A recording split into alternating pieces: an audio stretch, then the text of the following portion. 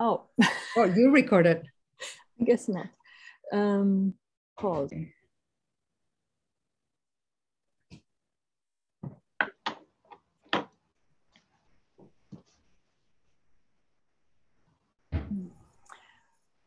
All right. Um, hello, everybody, and welcome and thank you uh, for being here. My name is Simonetta Moro, and I'm the director of the Institute for Doctoral Studies in the Visual Arts a law residency program in art theory and philosophy based in Portland, Maine, uh, but truly nomadic in spirit.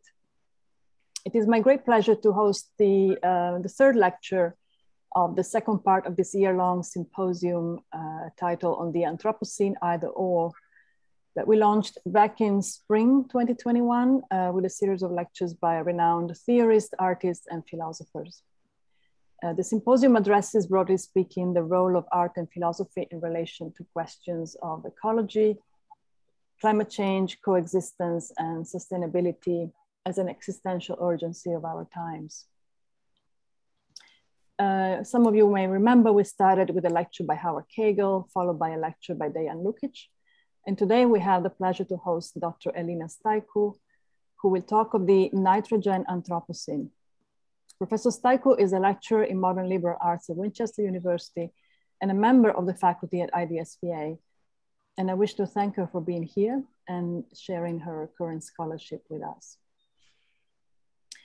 I would also like to thank uh, Patricia Tinajero, a PhD candidate at IDSVA, who will help us with the technicalities of this webinar. And uh, Novel Scholars, also a PhD candidate um, who will give a brief introduction to Professor Staikou and take the questions after the talk.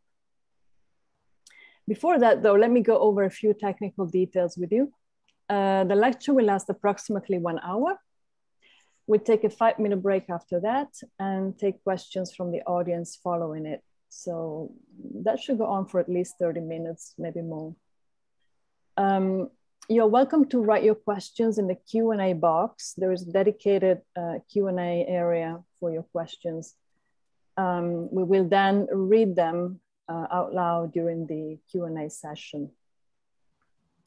Um, we also, we may go, we may post a few things in the chat box, uh, for example, links to upcoming lectures, uh, but the chat box shouldn't really be used for Q&A. So try to use the other um, area. Uh, the lecture will be recorded and published on our Vimeo site, and I will post the link uh, shortly. Uh, finally, let me remind you that after today, we have one remaining lecture planned on December 11. And in the chat box, you can find a link to register to the remaining lecture. All right, um, and now I would like to leave the podium to Novel Scholars. Thank you all and enjoy the talk. Thank you so much, Professor Moro. I'm Novel Idea Scholars of cohort 16, and I'm very honored to uh, be introducing Dr. Staikou, uh, who has been patiently, as a matter of fact, working with me on my dissertation process. Dr. Elina Staikou is an associate lecturer in uh, modern liberal arts at Winchester University. Professor Staikou is the author of Deconstruction at Home, metaphors of travel and writing, and of articles on contemporary philosophy, literature, and biomedicine. She participated in IDS in the IDSVA Athens Symposium with a talk on migration and hospitality, of which I had the pleasure to attend. It seems a natural and certainly timely progression, or better, expansion of thinking through our human flow and relationships with each other with respect to hospitality, to now thinking through and feeling through, if I might add, our geological relationship with our planet with a view towards a more hospitable balance. With this in mind, Professor Staikou will be looking at what she calls the nitrogen Anthropocene and what it entails for us today. The focus will be on soil, our symbiotic condition with it, and notions of its care, moving towards the ethics of compost which would involve seeing ourselves in relation, in a relation of cohabitation with the more than human, or to speak in terms of hospitality, rather as guests than masters. I am very happy to introduce Dr. Elina Staikou, Thinking the Nitrogen Anthropocene.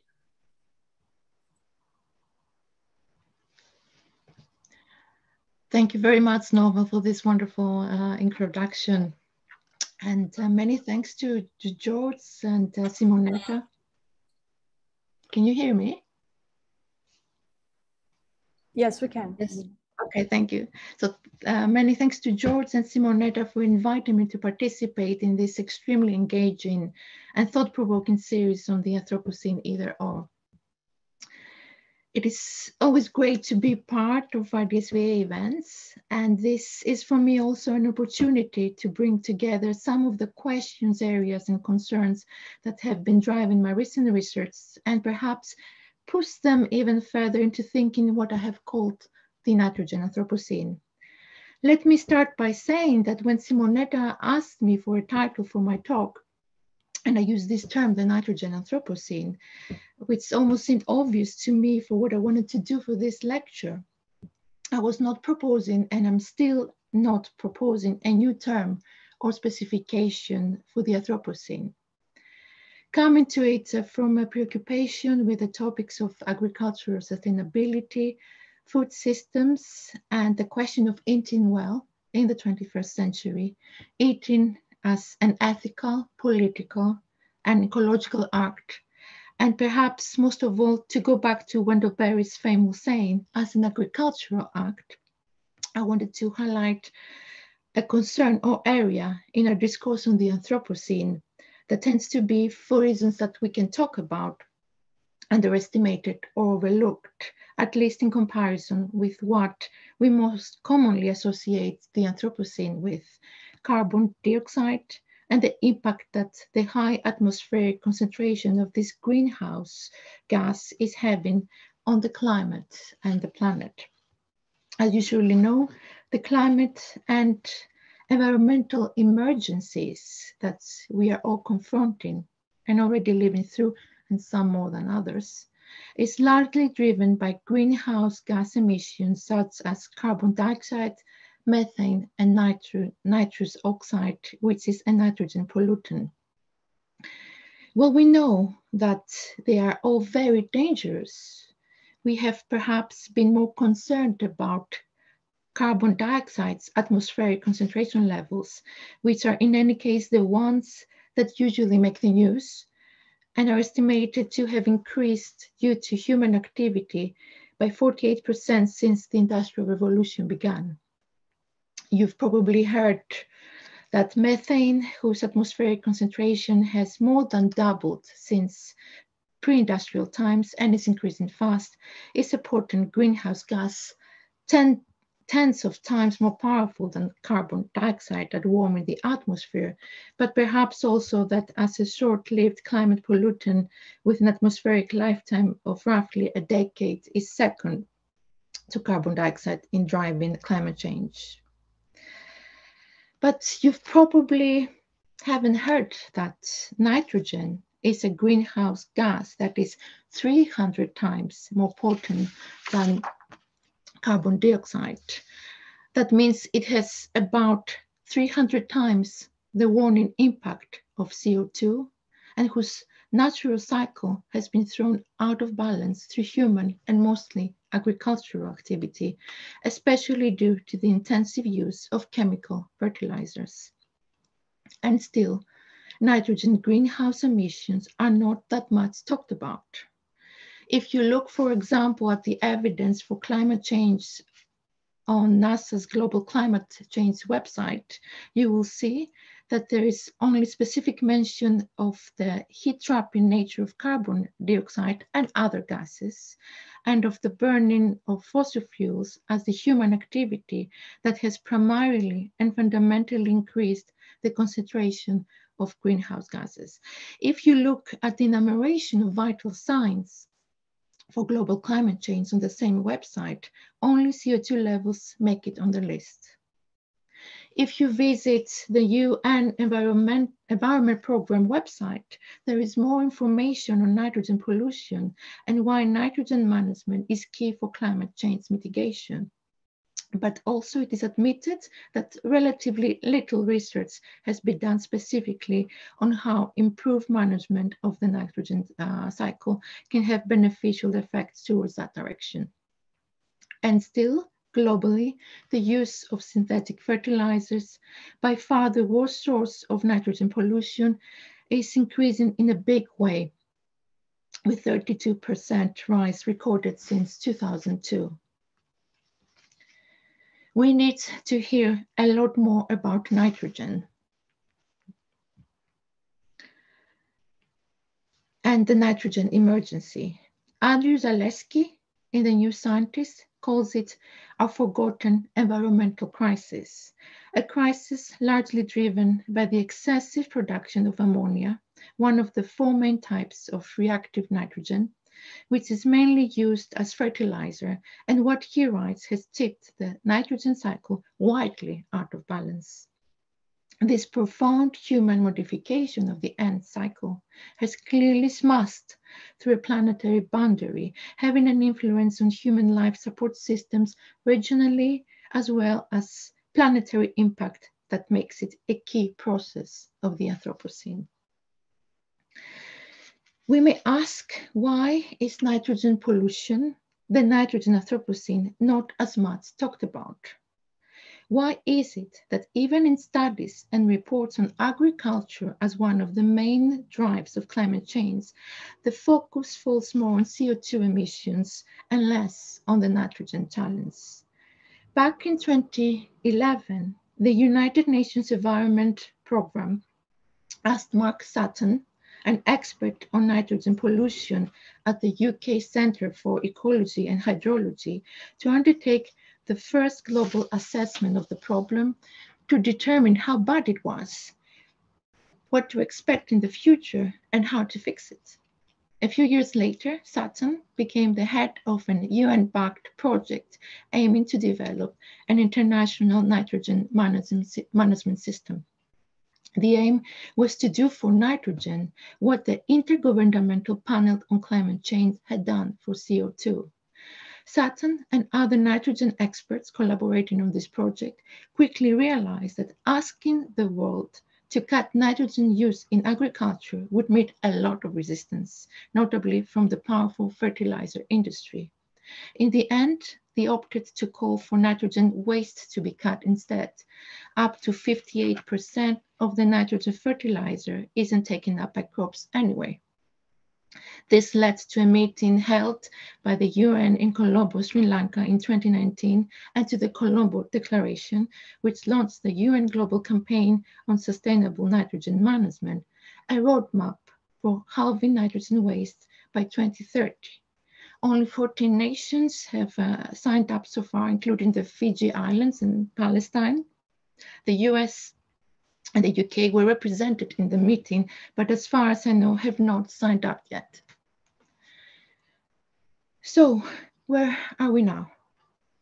When we talk about the nitrogen Anthropocene, we are mainly talking about synthetic chemical fertilizers, the kind of agriculture they support and its sustainability.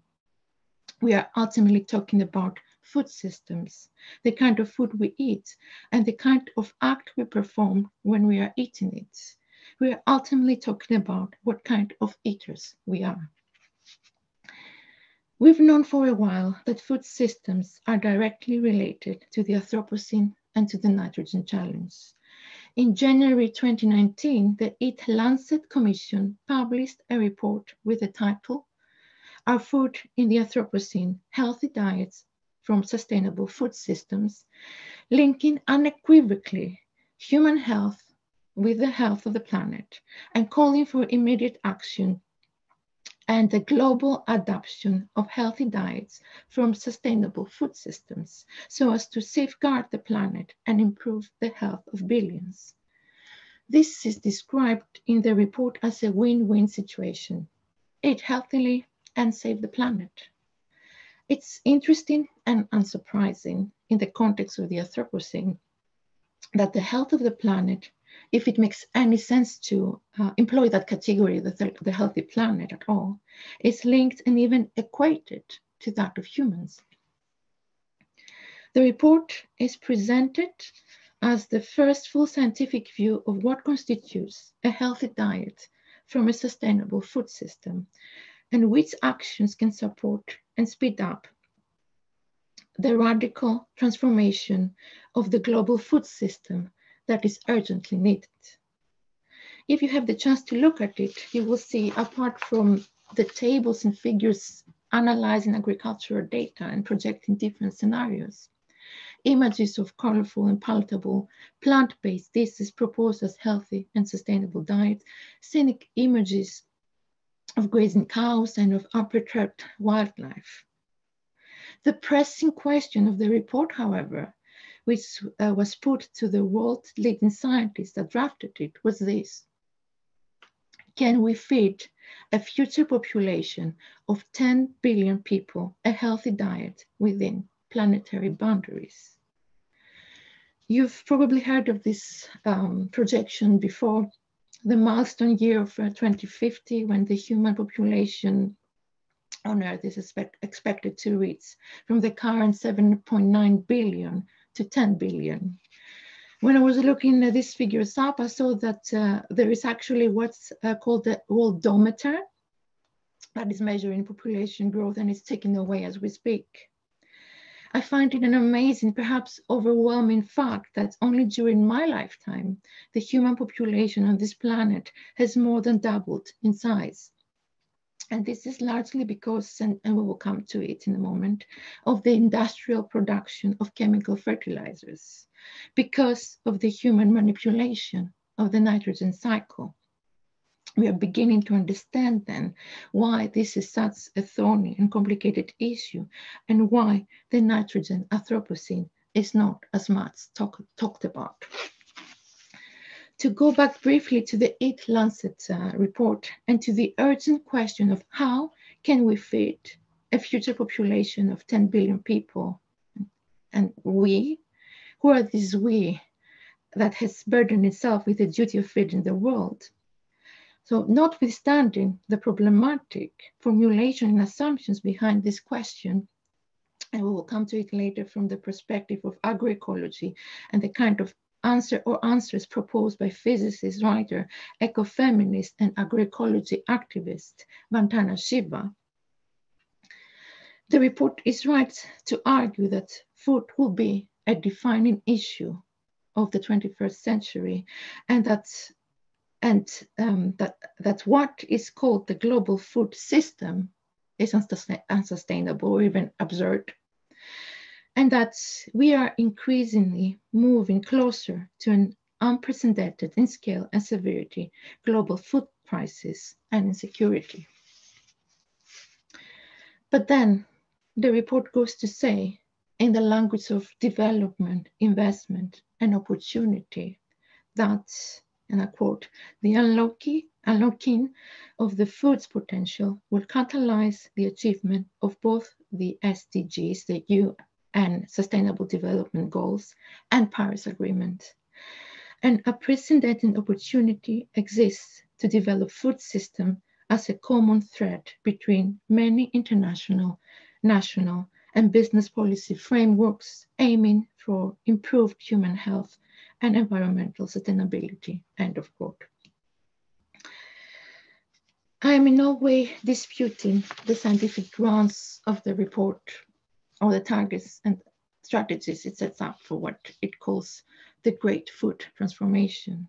I would like, however, to draw attention to the fact that here once more, and although this is about food production, more weight seems to be placed on the need to decarbonize the global energy system and to achieve a shift from land use being a net source of carbon to becoming a net sink of carbon. This transition and boundary estimates would also include an assessment of the maximum amount uh, of what are here called non-CO2 gases, that is methane and nitrous oxide, that have been assessed as both necessary and hard to further reduce at least before 2050.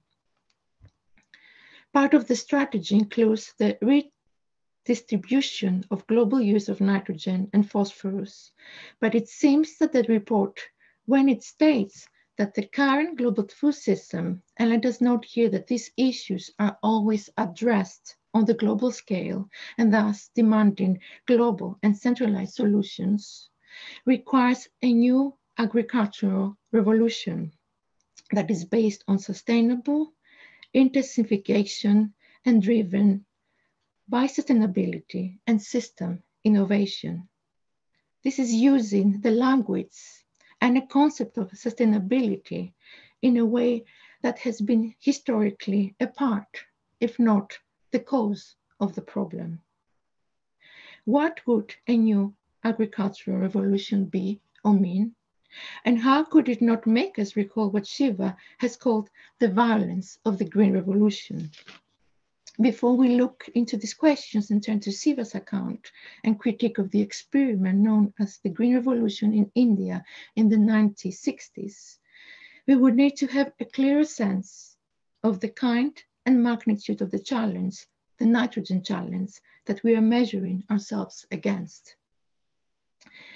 When Dutch meteorologist and atmospheric chemist Paul Crutzen first used the term Anthropocene in 2002, which has now entered common parlance, to describe the human-dominated geological epoch supplementing the Holocene, the warm and stable period of the past 10, 12 millennia, which he dated back to the latter part of the 18th century and the invention of the steam engine, its association with the dangers involved in the growing global concentrations of carbon dioxide and methane was clear.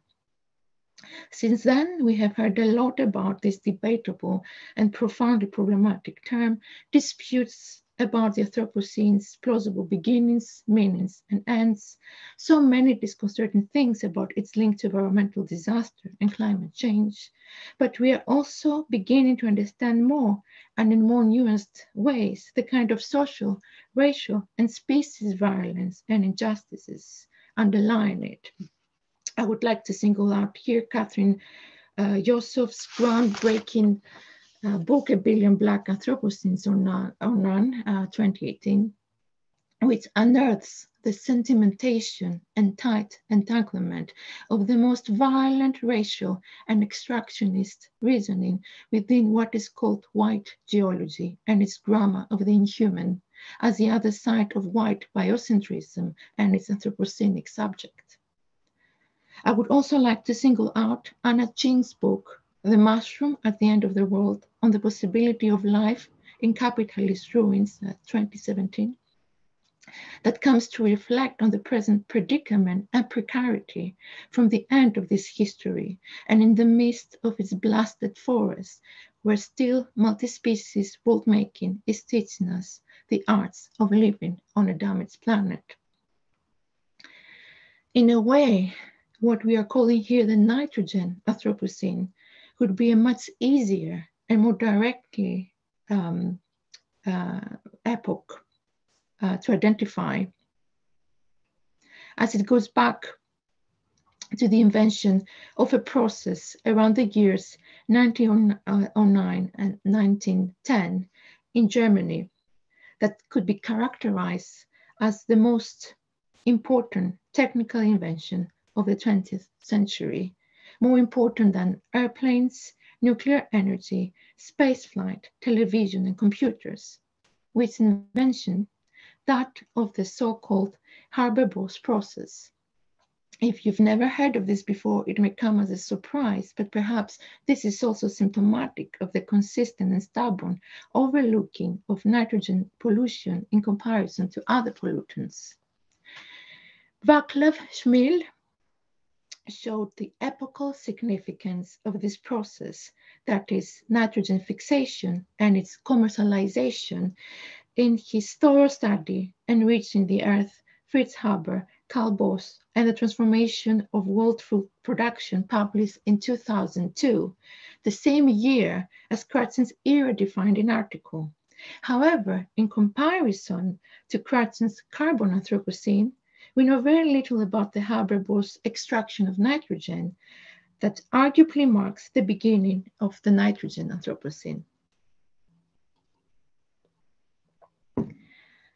Fritz Haber was a German chemist and the first to fix nitrogen synthetically in the lab, and Carl Bosch, the entrepreneur, that made possible the industrial production and commercialization of synthetic ammonia, the nitrogen compound that is used in agriculture as fertilizer, but also in the manufacture of explosives, pesticides, and plastics.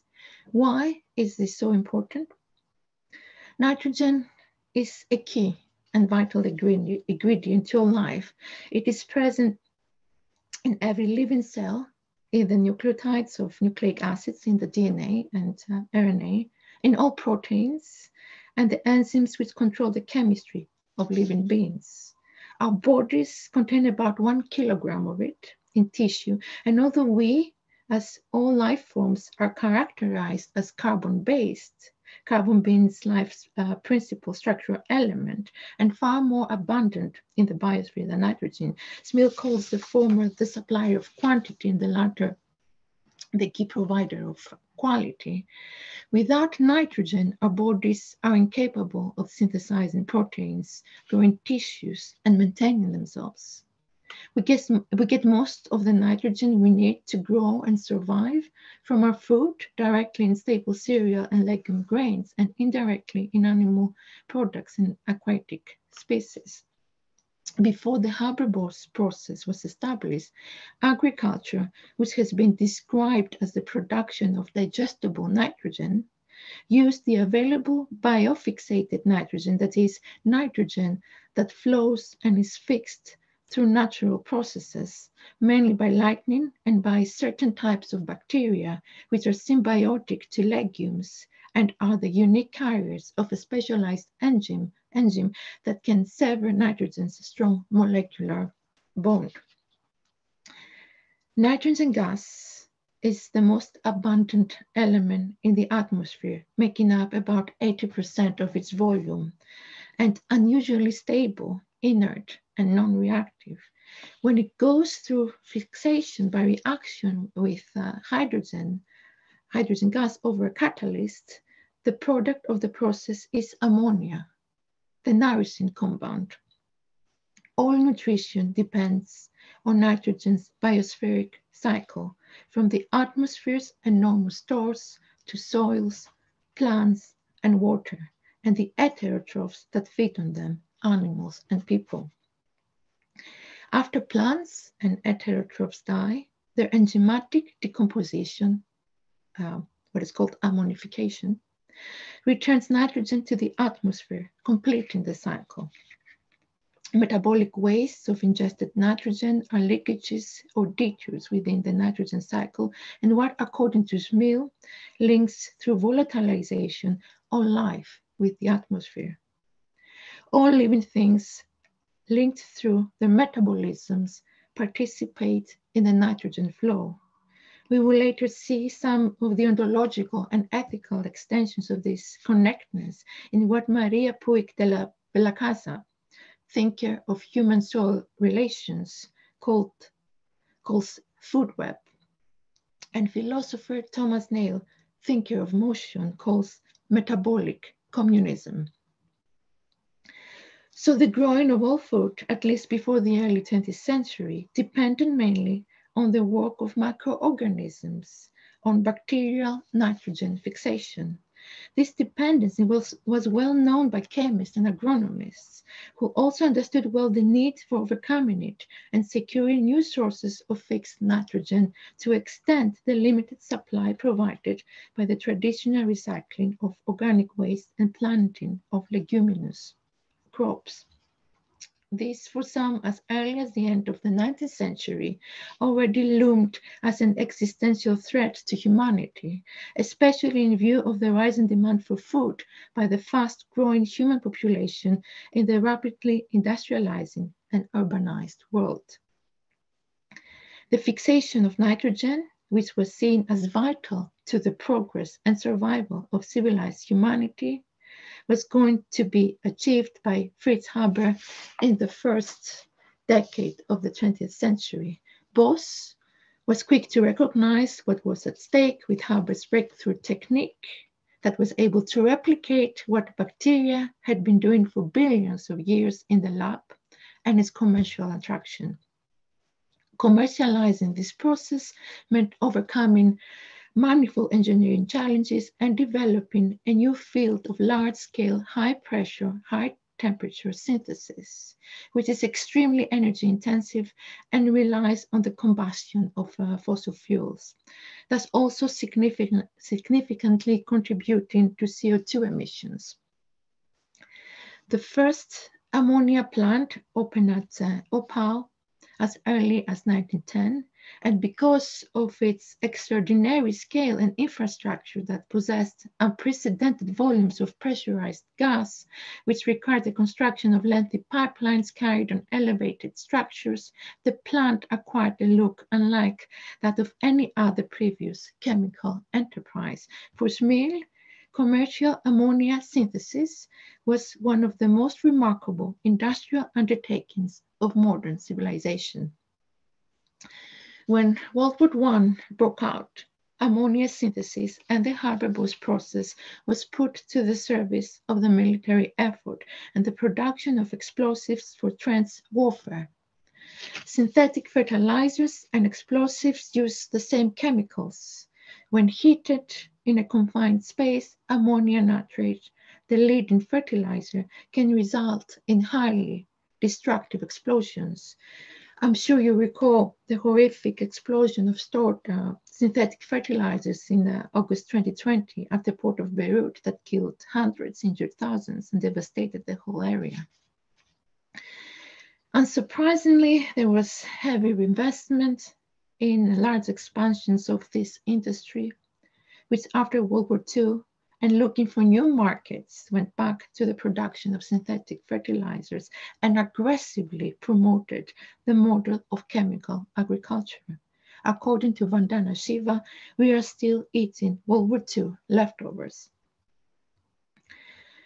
Although the global output of ammonia began to rise after 1950, first thanks to the rapid growth of US production, and then as a result of the Green Revolution in the 1960s, the Haber-Bosch process was to be the beginning of a geoengineering experiment, an epoch that is now posing its own existential threat to humanity and is what has thrown the nitrogen cycle even more dangerously out of balance than CO2.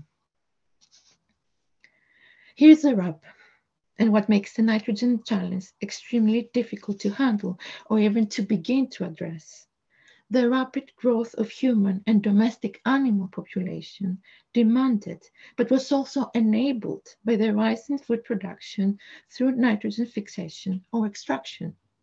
Smil states that during the 1990s, globally, synthetic fertilizers provided about half of the total nutrient available to annual and permanent crops and are the dominant sources of the nutrient in all of the world's most intensely cultivated agroecosystems, be they the cornfields of the US Midwest, wheatlands of Atlantic Europe, or paddies of South China. In 2002, when this study was published, Smil concluded with a high degree of confidence that the Haber-Bosch synthesis of ammonia had recently been supplying about half of the total nutrient input into the world's agriculture. 20 years later, and although the use of ammonia in agriculture has been decreasing in the West, it is still rising in developing countries, and Smil's projections for the future seem to be accurate. Back in 2002, Smil argued that the Haber-Bosch synthesis of ammonia provided the very means of survival for about 40% of humanity. And when he was writing this, the human population was around 6 billion, nearly 2 billion less than it is in 2021. The existential dependence on this process was higher in low-income countries, which consumed in 1996 64% of the world's nitrogen fertilizers, heavily relying on it for supplying at least half of their food proteins. According to Smil, protein supply has not been a concern in affluent nations, which do not depend existentially on the Haber-Bosch process. Intensive agriculture and high-yielding cultivars in the West are less about survival and more about dietary choice. It adds more meat and dairy products to diets that were already sufficient in animal protein. At the same time, the growth of population in the Western world is slowing down and increasing in developing countries, and the next 2 billions of uh, humans that may uh, be added to the global population by 2050 will inhabit countries like China, India, and Pakistan. Countries that seemingly existentially depend, or to be more precise, were driven by Western extractionism to depend on chemical agribusiness. Whence the alleged imminent food crisis and insecurity and the extreme challenge of feeding the world with a sustainable food system. If the Haber-Bosch process is still considered indispensable for ensuring basic nutrition for some 60% of the world's people, to face this challenge, the world would uh, either need to intensify and further expand it, which would be an extremely costly choice in ecological and social terms, or would have to resort to a radical transformation of the food system, something advocated by the Eat Lancet report without, however, proposing a radical enough change in the dominant agricultural paradigm. Smil is pessimistic when it comes to the drastic changes in attitudes especially when it comes to reducing meat and dairy cons consumption in the West and reverting to simple and more fragile diets containing more cereals and legumes. Needless to say, he writes, the chances of this dietary transformation are extremely slim. End of quote. I want to be very clear here. It seems that Smil's reasoning and projections may lead to arguments susceptible to a kind of neo-Malthusianism. Hints of that could be detected also in Paul Crutzen's statement that launched the debate on the Carbo-Anthropocene the same year. Such approaches would only perpetuate and even escalate the colonial violence that caused these predicaments in the first place in the worn-out name of a Western way of life. Well, truly sustainable solutions to such challenges can only come we confidently argue from a deep sense and commitment to environmental and food justice. We need, however, to be ready to hear more about nitrogen and the nitrogen challenge. No much has changed, at least with respect to public discussion and recognition of this crisis, since Smil wrote that in comparison to the effort devoted to the understanding of carbon and sulfur cycles and to the studies assessing the existing and potential impact of anthropogenic interferences in the two cycles, fertilizer-induced perturbations in nitrogen cycling have been a minor concern. In relative terms, human activities now perturb the global uh, nitrogen cycle to a greater extent than they interfere in the cycles of the other two doubly mobile elements, carbon and sulfur, end of quote. Well, high CO2 emissions could be foreseeably reduced and quite effectively so by means of various technical, economic, and political solutions and the decarbonization of energy supply, there is no way, Smil writes, to grow crops and human bodies without nitrogen and there, is, there are no imminent substitutes for the Haber-Bosch synthesis, to which he credited the existence of nearly 2.5 billion people, nearly half of the world's population at the beginning of the 21st century. Where are we and where are we going? if the history of the Haber-Bosch process is indispensable for understanding how we got to where we are now at the age of the Anthropocene, there is still a history that we need to go back to in order to understand better where we are heading to and the kind of dilemmas we are facing. the experiment in geoengineering that was the commercialization of ammonia synthesis and its tremendous success happened also at an extreme ecological and social cost due to rapid, violent, and exogenous changes in the societies which were mostly affected by the expansion of the fertilizer industry. I'm talking about the history of the Green Revolution in India in the 1960s, which Vandana Shiva recounts in her 1991 book, The Violence of the Green Revolution, Third World Agriculture, Ecology, and Politics. For Shiva, Green Revolution is a misleading name given to the chemical-based agricultural model that was introduced in India and other countries in the so-called Third World uh, uh, third world in the mid 60s. Another notable example is Mexico, and had devastating effects for the local agricultures and communities and their biodiversity. And here, for sure, there would also different accounts and even triumphalist narratives uh, of success and progress. What happened in India, and particularly in the Punjab region, which was selected for this agricultural and social experiment, was the wholesale transplantation of the American mechanistic, intensive, and ultimately non-sustainable agricultural model and the displace, displacement of long traditional agrarian practices and traditional cultures of nitrogen capture. Private American foundations such as Ford and Rockefeller, the American government, and the World Bank pushed for the introduction of these innovations, launching the Intensive Agricultural Development Program. After the wars, Shiva writes, there was cheap and abundant fertilizer in the West, and American companies were anxious to ensure fertilizer consumption overseas to recoup their investment. End of quote.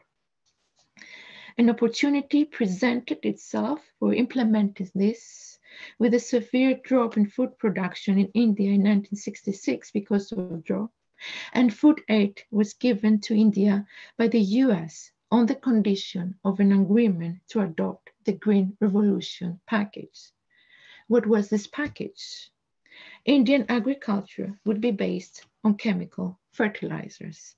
Native seeds would be swapped by seeds, the so-called miracle seeds, engineered to respond well to these chemicals, and the rich local agri agricultural biodiversity would be replaced by genetically uniform monocultures of wheat and rice.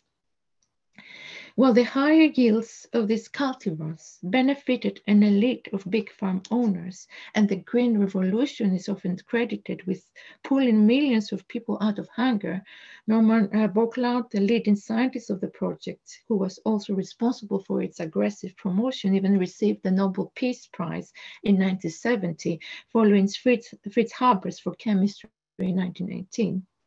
The adverse consequences of the Green Revolution became felt at its onset by local agrarian communities and farmers, which were unable to afford the expensive seeds, seeds they now had to buy rather than freely use and exchange, as well as the chemicals and farming machinery of the packets, and were rapidly driven into debt, bankruptcy, bankruptcy, and to suicide by the thousands.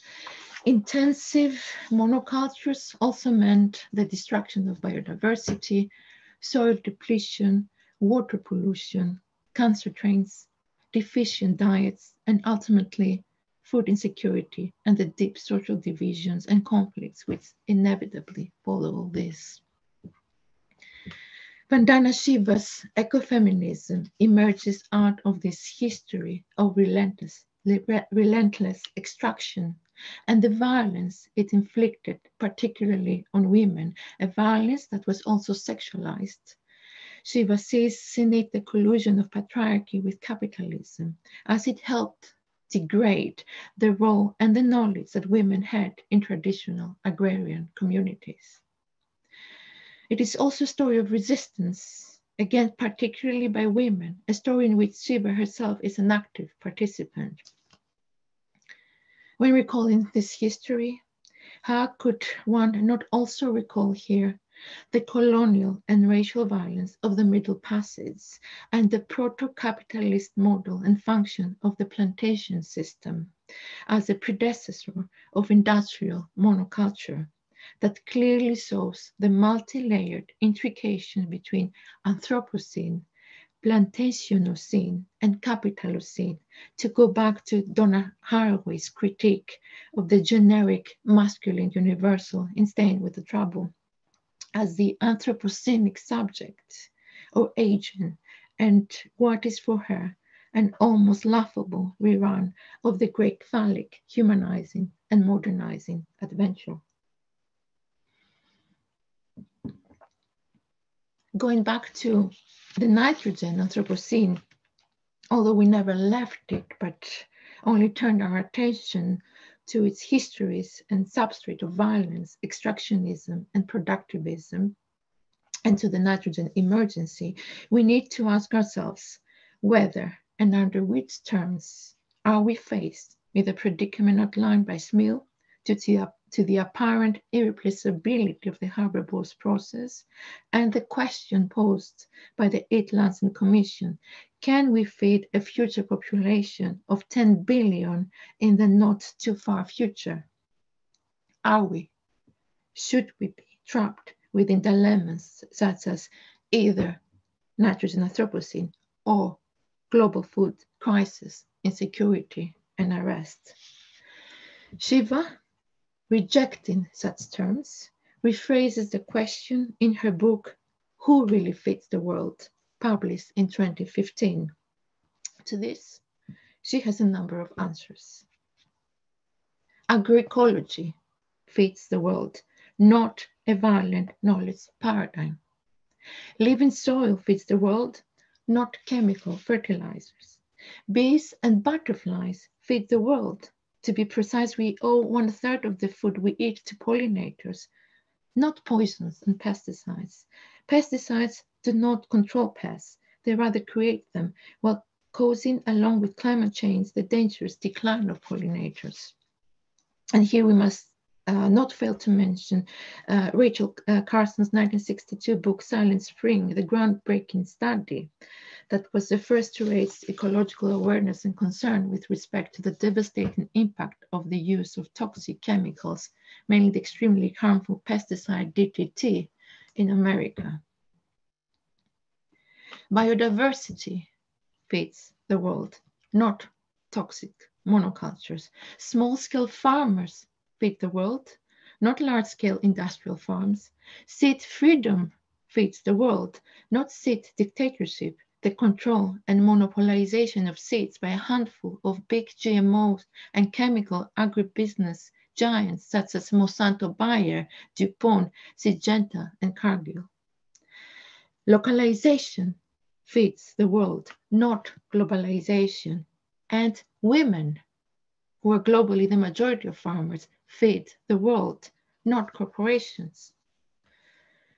Before we invest our hopes and anxieties in a new green revolution, which seems to be already underway and has now arrived in Africa with the promotion of GMOs thirsty for chemical fertilizers and the digital and speculative centralization of agriculture, before we seek out technological fixes to problems, and I'm not saying that, uh, and neither does Shiva, that we should mobilize technoscientific resources and solutions, we need to examine what the different pathways and possible courses of action entail on the level of principles, or in Shiva's words, the knowledge paradigms that underlie chemical agribusiness and agroecology.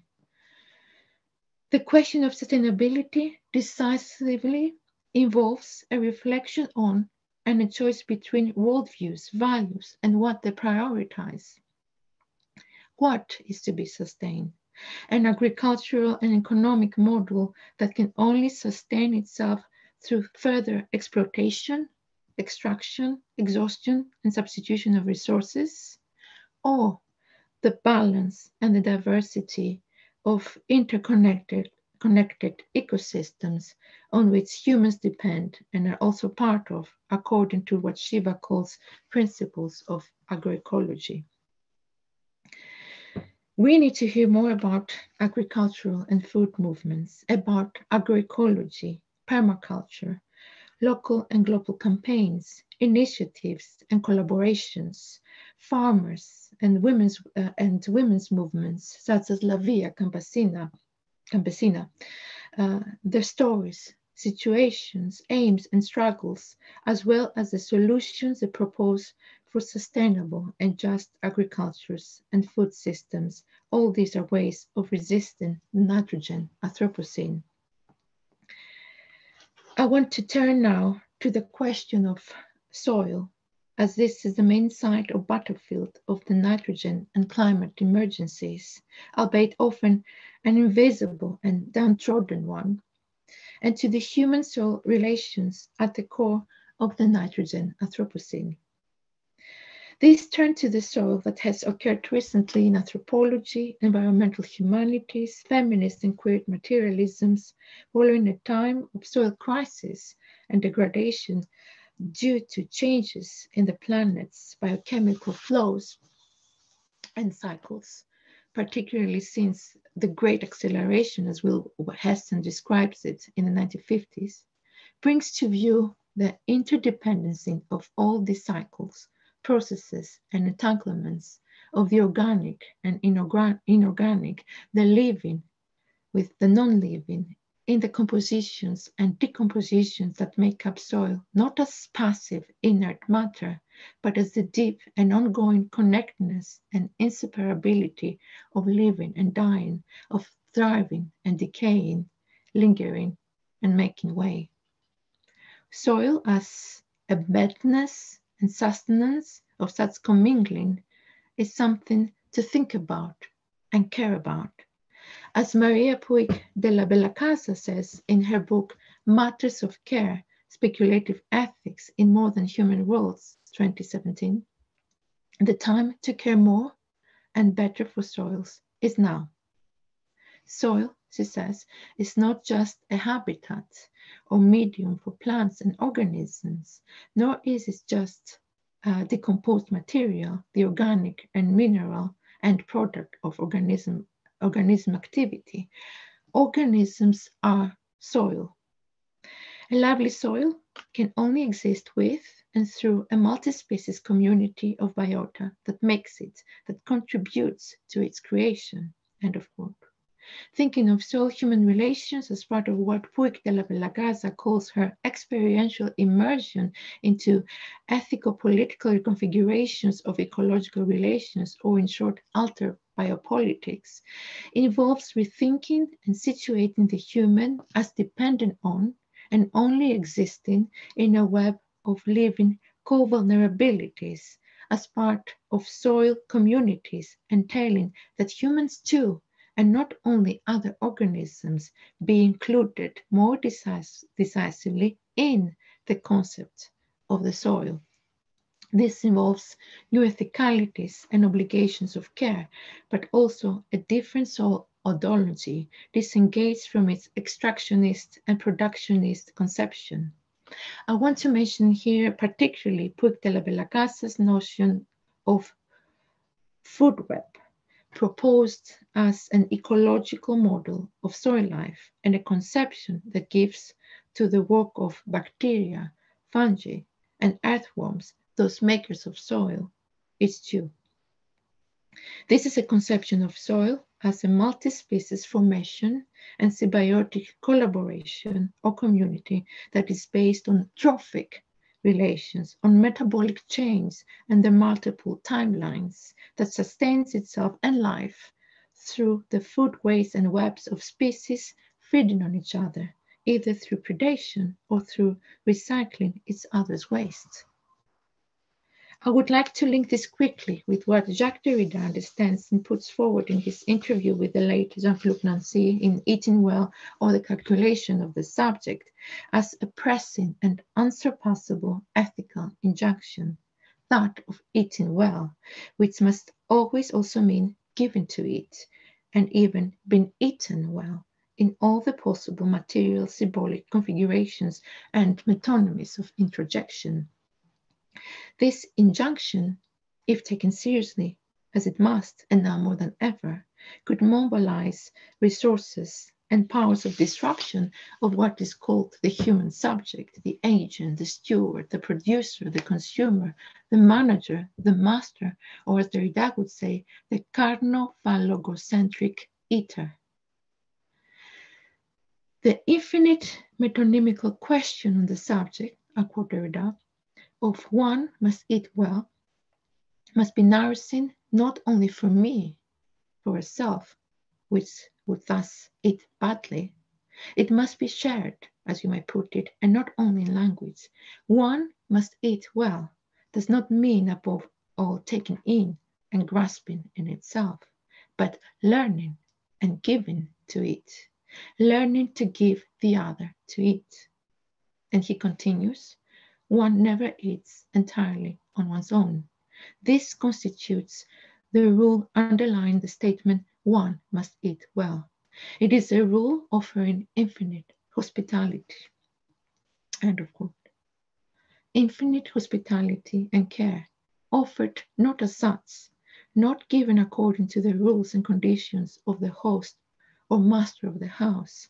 The one, and the one must eat well, must be resituated here in his web of living co-vulnerabilities, immersed, as Puig de la Casa suggests, into ethical political reconfigurations of ecological relations or relational ontologies.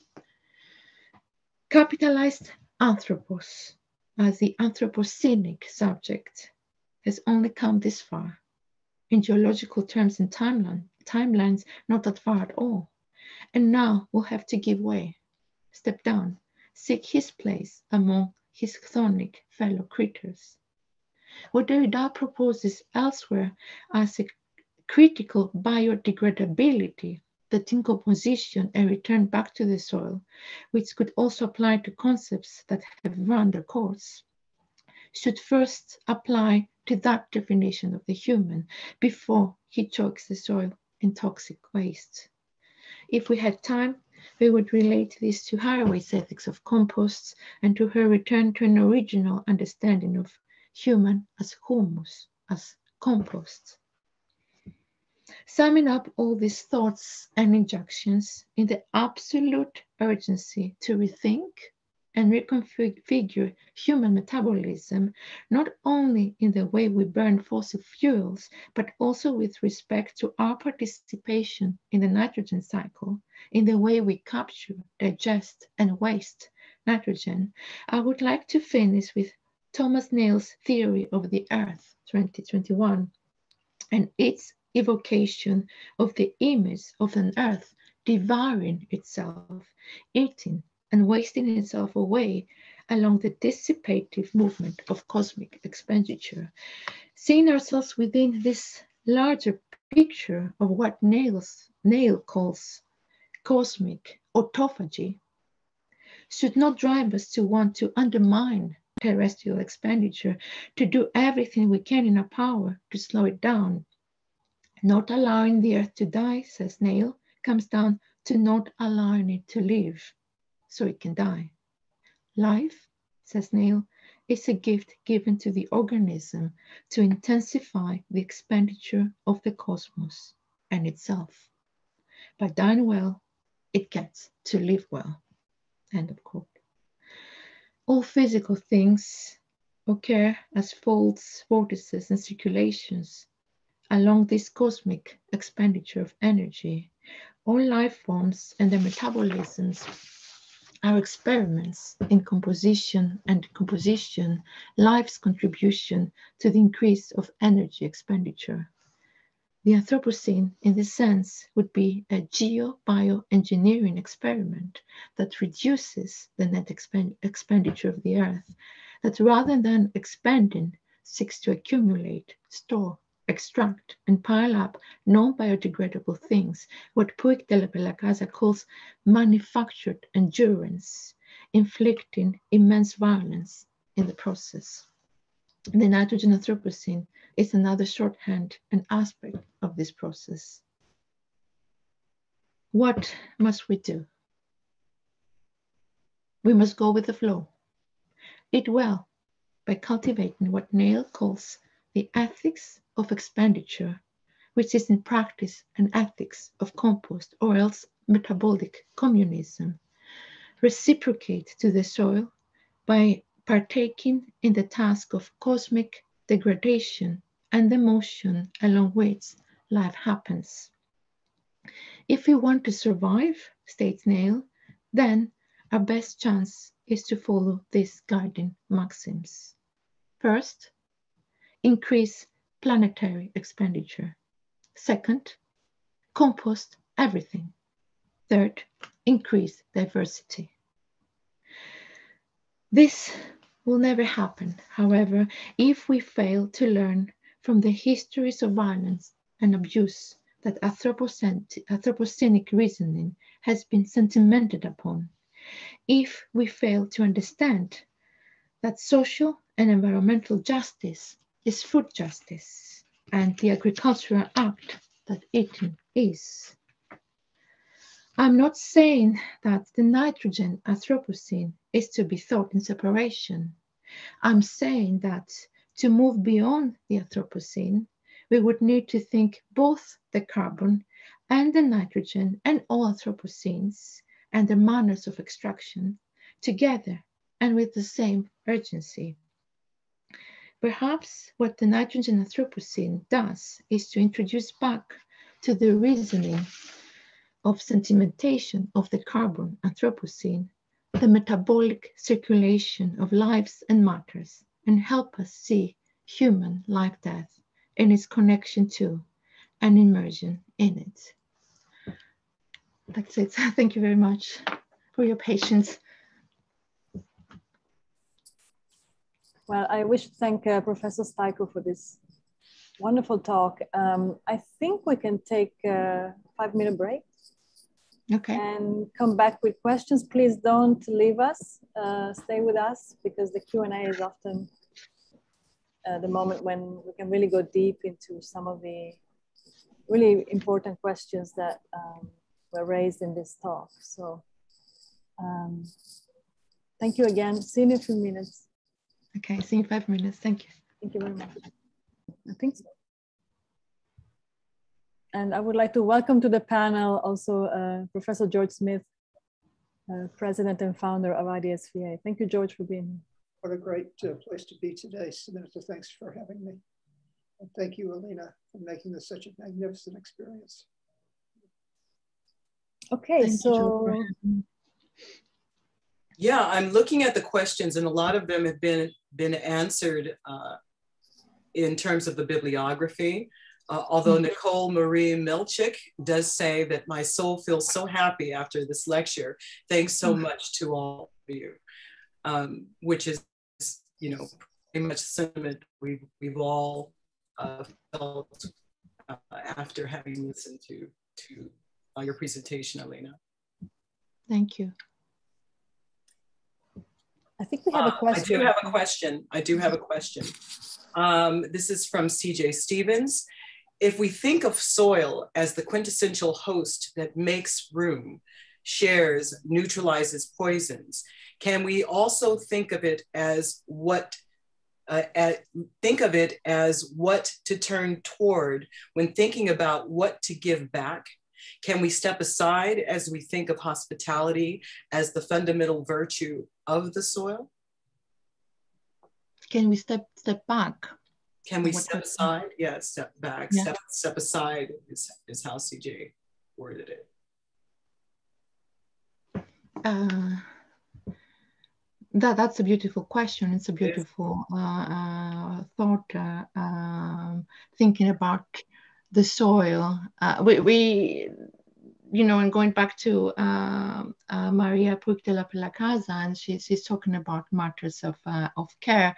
Um, but it's uh, more about our immersion in the soil. And as you say, it's uh, a thinking of ourselves, of the human, within the conception of the soul, thinking ourselves as part of the soul and not uh, just as uh, uh, the cares in the sense that the soul is that uh, that thing uh, over there, that substance that we need to to manage and uh, uh, take care, care of. Uh, uh so I think it does complicate in beautiful ways the notion of uh, the hospitality. Um, we are not hosting we are, are hosts to to to the soil in in you know in our fields or in our, our gardens and and and have a responsibility of taking care of it um, we inhabit it, we are immersed in it, um, we are part of uh, uh, this web of relations. Um, so uh, in a way, we don't step aside. We are, we are, we are in it. We are immersed uh, with it, uh, and uh, I think what we can learn from this kind of know, you know this, these beautiful uh, uh, thoughts uh, uh, uh is to, to begin to think ourselves uh, otherwise in other ways as immersed in that food web. And there are relationship of, of care. It doesn't mean that um, you know there there is no struggle uh, or violence involved in it because it's it's always has to do with eating the other or uh, uh, you, um, or being eaten uh, uh, as well. But uh, um, this is the web of life that we need to to respect and and to sustain because there's nothing else mm. I don't know if that answered uh, the question, but uh, it, it, was beautifully uh, uh, formulated. Thank you. Thank you so much. And there's another question here uh, from Angela Dunlap. Thank you for the time you gave to research this topic. I would like to draw a connection to your opening question that asks after the unfortunate gap in thinking about the nitrogen cycle and the political economical connections that you addressed in your talk as well. In your wider research, have you given thought to the 1%, uh, the 1%'s economic interests in fertilizers that disrupt the nitrogen cycle and the suppression of information on the dangers of disrupting this cycle by search engines? Yes, yeah. I mean, uh, that, that, that's uh, the question, why we're not uh, talking, why or we're not uh, hearing uh, that much about uh, the nitrogen uh, uh, Anthropocene.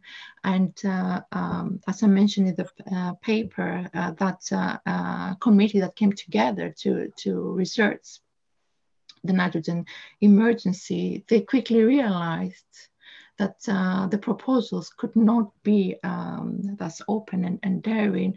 And so they had to compromise with proposing cuts in nitrogen waste, not in the production and the, in the distribution of um, uh, synthetic uh, fertilizers.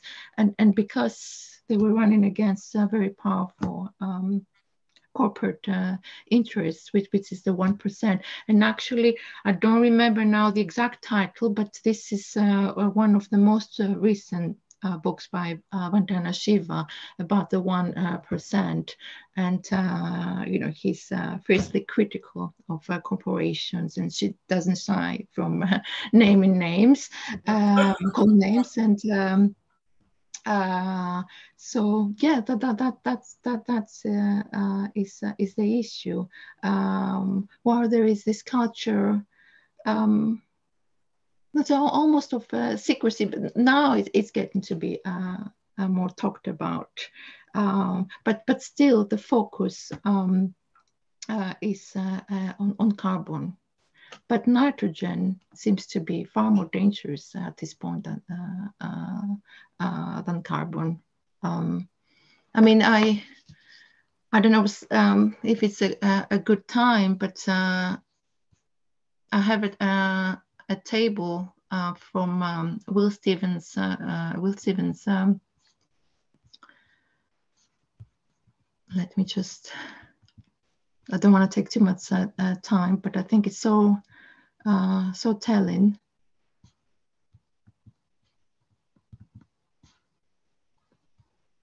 Do you see? Do you see it on your screens? Yes. Yes, we can yeah. So this is uh, a table about uh, the planetary uh, uh boundaries.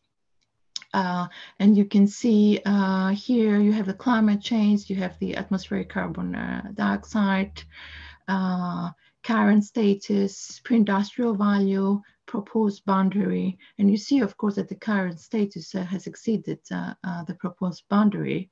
Um, but if you compare it uh, down, down here with the nitrogen cycle, proposed boundary 35, current status,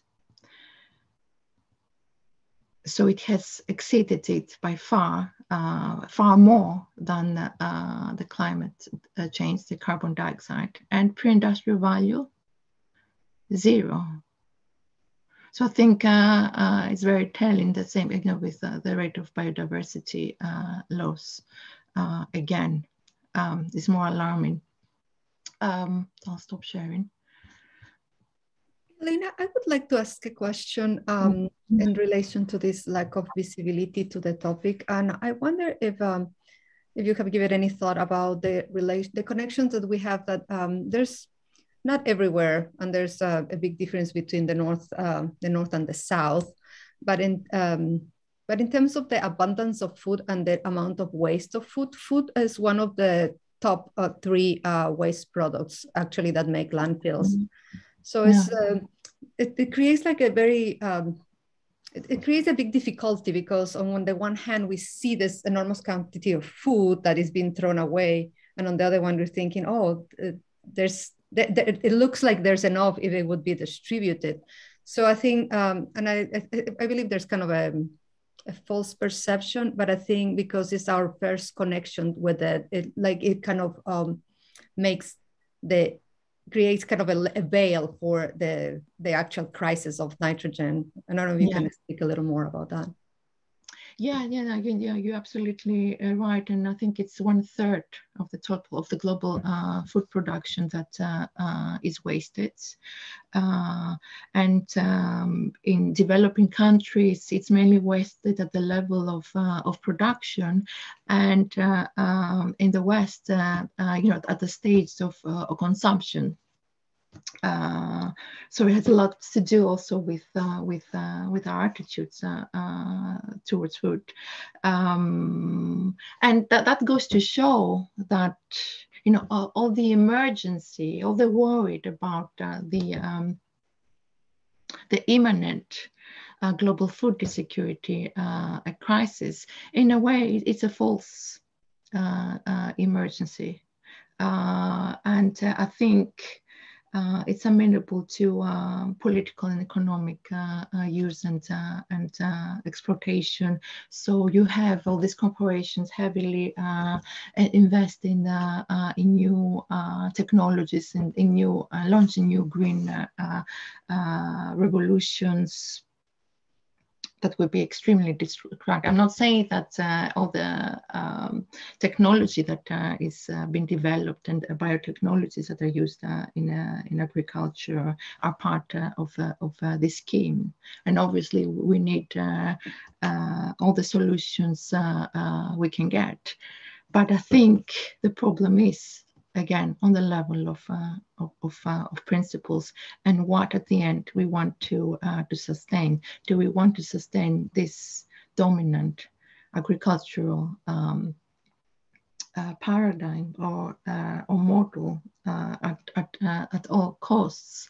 Um, or do we want to sustain following Shiva's uh, agroecological uh, principles, uh, uh values, um, local communities, uh, biodiversity, the balance of, of ecosystems. Um, so yeah, you know, we need to be pragmatic and find uh, ways of, of not wasting uh, uh, all these foods. But then we have to to ask why is that uh, food wasted uh, uh, in developing countries in this way, and why consumers are wasting food in in the West, and and reflect on all this um, on the level of of values, and above all in the name of uh, environmental justice and food justice. I think uh, um, that should be the point of, uh, of uh, the departure of this, uh, this debate. Yes, thanks. Um, I don't know if you were answering Angela Dunlap's uh, question. Is was that still your your question that you were answering, Patricia? Because we do have an additional question that that I believe that you've touched on in terms of sustainability, but I do want to read the question, if that's okay. Uh, she asked, uh, you asked the question of sustainability as what should we aim to sustain? I am paraphrasing here, suggesting that we need to sustain diversity.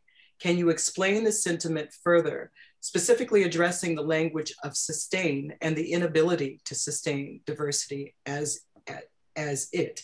Diversity relies heavily on the accident, which we have, have no control over. In other words, how can diversity be sustained if it relies on its own unsustainable existence? Mm. That's a very interesting uh, question. Uh, I mean, we hear so much about sustainability, and it's all about uh, uh sustainable uh, food systems, healthy and sustainable food systems. yes, and we we must ask what is what we want to sustain and what sustaining means.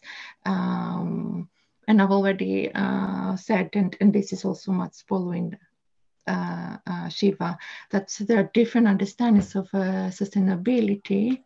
Uh, the, the dominant agricultural model, it is often called conventional uh, agriculture, seeks to sustain itself. Uh, to sustain this uh, global food system, not allowing it uh, uh, to collapse. And that would mean thinking um, to find new uh, uh, resources, uh, new places of investment, sustaining diversity. I think it's it's it's it's a good point. Um, it seems that these two uh, words do not sit very well uh, together. They trouble uh, each other because diversity has that um, randomness, that um, uh, accidental uh, uh, element in it. Um,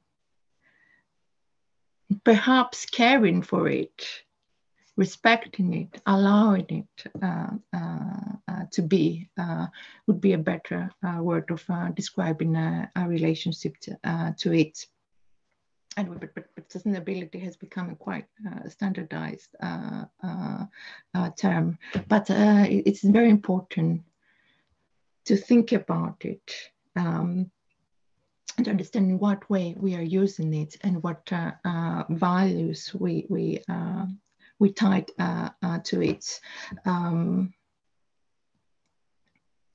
yeah, uh, I think that's what I had uh, uh, to say, but it, it's making me uh, think, uh, and uh, I think it could be linked um, to what I said at the end of the lecture about Thomas Nail. And for him, it's all about expenditure and the events, what occurs, the accidents that, that happen. Um, uh, along this movement of, uh, of uh, energy uh, dissipation and says that we must allow, we must allow these ex uh, uh, experiments to keep on happening. And, and that's also diversity.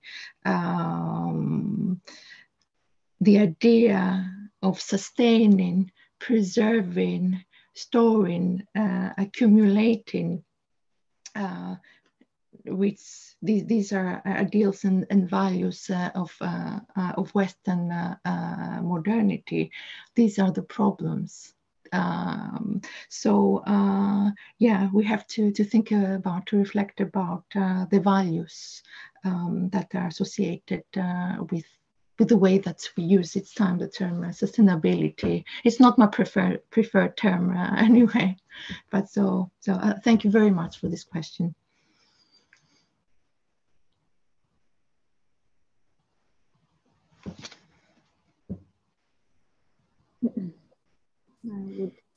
Like to encourage maybe another question or though we are, George.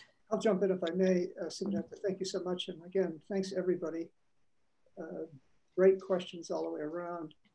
Yeah, it does seem to me that uh, the accident of diversity is the enemy of scientific control, which will always want to dominate and annihilate what is diverse. We see that in, in so many ways in the world today. But, but you know, uh, the elegance of your, of your lecture uh, to me is, is so much about sustainability and its balance because you, you begin with uh, Derrida's notion of hospitality and come back to that at the end in such a rich way. Um, initially, when you talked about Derrida's notion of hospitality, you included the word gift, which of course always requires gratitude, which is the essence of humility and the opposite of mastery and domination.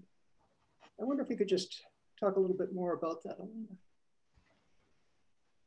About the gift. Yes, and, and its relation to gratitude and, and humility is the essence of gratitude and the opposite of mastery and domination. Mm. Yeah, yeah, no, no, no, no, that's that's a lovely uh, uh, question, and you will remember that for Derrida, the gift is uh, something impossible. um, in in the sense that it's, it's not this present thing that you know you're you're receiving and who's giving it uh, to you so it, it, it's not about an exchange between the two subjects uh, and uh, there you have uh, uh, uh, the gift so it's not part of this kind of economy right. But i think and then again with Derrida, there is so this this uh, complication uh, of life or death, uh, which is what I've been talking about uh, in terms of uh, soul and uh, the compositions of life, death, the decomposition and and, and decomposition. But I think I could relate to the thought of of the gift. Um, uh, with what I said uh, uh, in this this talk that of the, the gift is also to receive your food and to reciprocate but you don't know to whom you're reciprocating and uh, and and uh, and what uh, by allowing yourself to be eaten well by returning something to to the soil. Uh, we are chthonic beings, so we return uh, uh, to the soil and going with the flow mean, means that uh, uh, being re-immersed in the, the nitrogen uh, uh cycle. Uh, so th thank you, George, for that. Uh, I think it, it made this thought even richer. thank you. Mm. Thank you. Um, Patricia, you have your hand up? Oh, I did before. I forgot to to take it down. But yeah, we can talk about soil all day. No, I don't want to take more of your time. This was so beautiful. I really enjoyed it so much. Thank you very much. That's really wonderful. Thank you, Patricia. Great. I think we can uh, probably end it here if there are no more questions. And uh, you know, we have I, don't want to abuse your hospitality, Lena. You've given us so much, and um, it's really worthwhile spending some time and pondering these questions. So thanks again. Thank you. Thank you very much for, for being uh, here. And thank you very much for, for your questions and your contributions. And I really enjoyed it. and uh, I'm, uh, I'm going to go away and, and keep working on, uh, on, on, this, uh, this topic. I'm more inspired now. Well, you inspired all of us. So thank you again. Absolutely. Thank you so much. Thank you. Wonderful to see you all. Thank you, Novel. Thank you, Patricia. Thank you. Thank you, George. And, and thanks to everyone who came to this talk today. It's lovely to see so many of you. Yeah. And ciao, Alina. Bye-bye. Ciao, Patricia. See you no. soon.